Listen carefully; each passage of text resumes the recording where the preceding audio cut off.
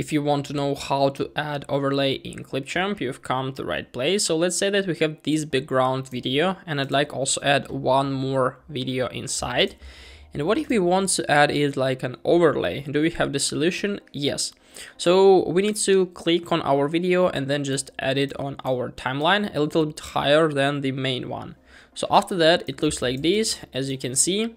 And what if we want to add like some blend modes or do some other stuff? How can we do this? In order to do it, we just simply need to click on our video right up here on the top video.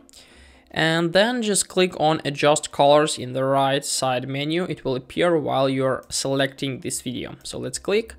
And as you can see here, we can manage some stuff about color grading or some other stuff. And in the bottom, we can find the blend mode. So if we'll click, we can find a lot of different styles and if we'll hover, we can view how will it perform. So it depends on your choice. And as, as you can see, we have the overlay right up here. So if we'll increase the size, now our picture looks like this. We can try to change it to screen, to lighten. So it depends on your purposes, honestly.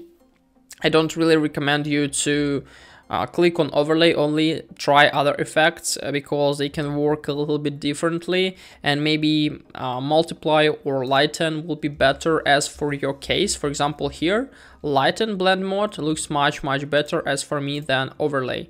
Of course there is something like different, but you can also try to discover it by yourself. But yeah, this is a way of how can we add overlay effects and some other effects on Clipchamp.